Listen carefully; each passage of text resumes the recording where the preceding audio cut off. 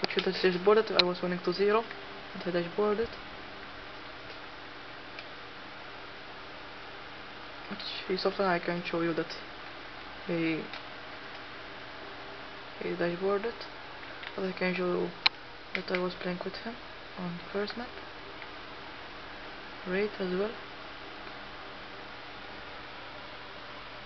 I won 6 6 4 um, first map and second map the bullet I was winning to 0 so uh, I won. Just don't go to prove that I was playing with him